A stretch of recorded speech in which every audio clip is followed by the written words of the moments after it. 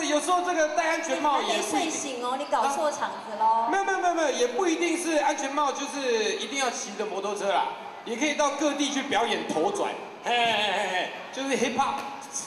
干什么啊？不好意思，不好意思，晚来了，晚来了。我跟你讲，其实是这样子的，我们不是要去环岛吗？哎，对是啊，那你干嘛戴安全帽呢？刚刚旭兰姐讲的多好，你看看，现在呢，其实最潮的这个环岛方式，已经不是骑摩托车了。二零一零年呢，最潮的这个环岛方式，当然呢，就搭乘这种公共运输，头发没有乱，不用担心。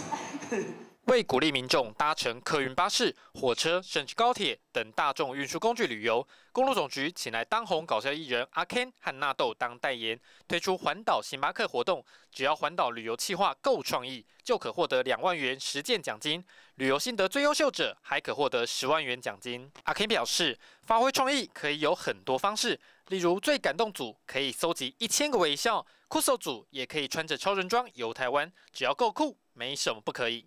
那希望就是说，呃，借着这个活动办理之后，那我们可以达到我们节能减碳的一个目标。